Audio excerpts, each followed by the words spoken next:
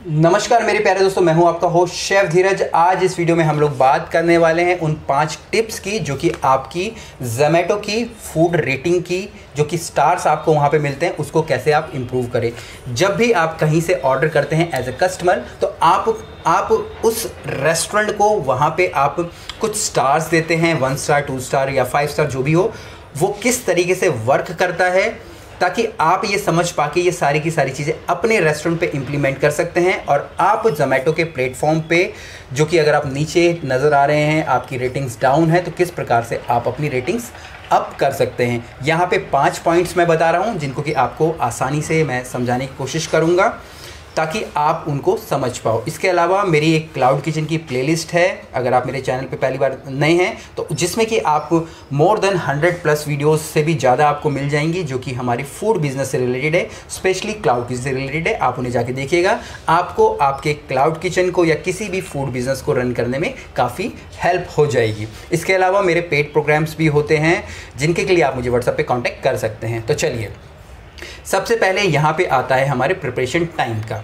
कोई भी कस्टमर किसी भी ऐप पे आके जोमेटो की हम लोग यहाँ पे बात कर रहे हैं, वो इसलिए ही खाना ऑर्डर करना चाहता है क्योंकि वो खुद ही लेज़ी है और वो चाहता है कि उसे ज़्यादा से ज़्यादा ज़्यादा से ज़्यादा और जल्दी से जल्दी अच्छी क्वांटिटी में और अच्छे समय में मतलब कि कम समय में खाना मिल जाए। तो अगर आप अपने जो फ़ूड प्रिपरेशन का टाइम है वो कम रखते हैं ऐप के अंदर तो तो कस्टमर को आपसे ऑर्डर करने में सहूलियत होती है और ये जोमेटो का भी एल्गोरिथम है। अगर आपकी आपकी जो प्रिपरेशन टाइमिंग है वो कम है और आप सही समय पे क्योंकि वो टाइमिंग के अं-, अंदर ही अगर आप लोग सर्व कर पाते हो तो जोमेटो के रिपीट्स ऑर्डर भी आपको आते हैं और यहाँ पे जो रेटिंग्स है वो भी आपकी बढ़ती है। तो कोशिश कीजिएगा कि आप लोग अपने जो प्रिपरेशन टाइम को वो कम से कम रखें।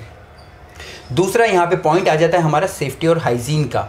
जोमेटो के खुद के गाइडलाइंस हैं, अगर आप जोमेटो का ऐप यूज़ कर रहे होंगे, अगर आप उन गाइडलाइन का फॉलो कर रहे हैं, उन गाइडलाइन का पालन कर रहे हैं, और वहाँ पे वो रिफ्लेक्ट करता है आपके रेस्टोरेंट पे, आपके क्लाउड किचन में, जो कि रेस्टोरेंट जो कि जो कि कस्टमर को नज़र आता है, और यहाँ पे वो भी एक मेजर रोल प्ले करता है आपकी रेस्टोरेंट के जो स्टार्स की या स्टार्स की या रेटिंग्स को बढ़ाने के लिए। तो आपको अपने जो गाइडलाइन है, वो प्रॉपर फॉलो करने हैं यहाँ पे। तीसरा यहाँ पे आ जाता है हमारे स्पेशल इंस्ट्रक्शन का।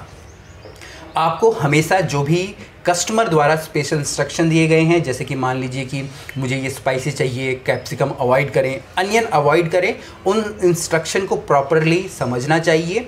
और उनके अनुसार ही आपको अपने खाने को प्रिपेयर करना चाहिए, क्योंकि वो स्पेशल इंस्ट्रक्शन है। हो सकता है कि किसी किसी कस्टमर को उस चीज़ से एलर्जी हो और वो नहीं चाहता है कि वो खाए और बीमार पड़ जाए। पर अगर वहीं अगर आप उसको वो चीज़ें अवॉइड नहीं करते हो या गलती से वो चीज़ें देते हो, या फिर आप जो स्पेशल इंस्ट्रक्शन पर कभी ध्यान ही नहीं देते हो तो कस्टमर कभी भी आपके लिए एक अच्छी रेटिंग नहीं देगा, कभी भी एक अच्छा फीडबैक नहीं देगा। तो यहाँ पर जो भी स्पेशल इंस्ट्रक्शन मिल रहे हैं कस्टमर के द्वारा, आपको उनका ध्यान रखना है। चौथा यहाँ पे आता है हमारी पैकेजिंग का। आपको कोशिश करनी है कि आपकी पैकेजिंग अट्रैक्टिव होनी चाहिए और ये भी ध्यान रखना है कि आपको कम से कम जब आप अपनी पैकेजिंग कर रहे हो और स्पेशली कोई भी लिक्विड आइटम हो तो लिक्विड आइटम और लिड के बीच में कुछ गैप ज़रूर छोड़ना है। ये ना हो कि आप कस्टमर को ज़्यादा देना चाहते हैं और आप लबालब उसको भर दे रहे हो और बाद में वो सारी की सारी चीज़ें स्पिल हो रही है। क्योंकि जब भी आप एक्स्ट्रा क्वान्टिटी देने की कोशिश करते हो, स्पेशली हमारे जो लिक्विड वाले आइटम होते हैं तो वो गिर जाते हैं क्योंकि जो जोमेटो का राइडर है, वो लेके जाता है और आपका खाना स्पिल करता है। तो कोशिश कीजिएगा कि कुछ ना कुछ स्पेस लिड और फ़ूड के बीच में होना चाहिए। आप एटलीस्ट इतनी जगह छोड़ सकते हैं अपने लिड में और खाने के बीच में। और उसके ऊपर से आपको अपनी टेप या फिर जोमेटो की टेप ज़रूर लगानी है, ताकि खाना सुरक्षित ढंग से आपके कस्टमर के पास पहुँच पाए। इसके बाद जो सबसे लास्ट आता है, वो आता है हमारे कस्टमर के फीडबैक का। कस्टमर आपको जो भी फीडबैक दे रहा है, चाहे वो अच्छा है, बुरा है, गंदा है, जैसा भी है, आपको उनका आंसर करना बहुत ही ज़्यादा ज़रूरी है। क्योंकि जब भी आप किसी भी कस्टमर के क्वेश्चंस का, क्वेरी का, फीडबैक का आंसर करते हैं तो कस्टमर को लगता है कि ये लोग मेरी केयर कर रहे हैं और मेरे बारे में सोच रहे हैं। फीडबैक चाहे ख़राब भी हो, पर आपको उनको वहाँ पे अपॉलोजी मांगनी है और कोशिश करनी है कि आप उनको किसी एक चीज़, दूसरी चीज़ वहाँ पे प्रोवाइड कर रहे हैं, चाहे वो डिस्काउंट हो, चाहे खाना हो, या किसी भी प्रकार की और और चीज़ें। तो ये पाँच पॉइंट हैं जो कि अगर आप ध्यान रखेंगे और आप देखेंगे कि जोमेटो में जोमेटो के ऐप पे आपकी रेटिंग अपने आप ही आगे बढ़ गई है और आपके पास ऑर्डर की संख्या बढ़ गई है। कुछ भी क्वेश्चन हो कमेंट्स हो, मुझे नीचे लिखिएगा।